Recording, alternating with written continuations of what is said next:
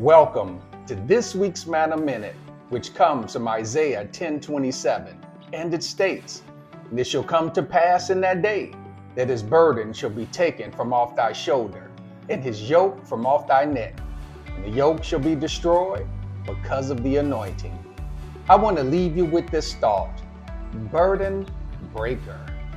God has a set time for every burden to be broken. It is not something that we accomplish through our efforts, but what God instigates for us. What has us bound is actually working in our favor because God will build us in the area of our burden until it breaks.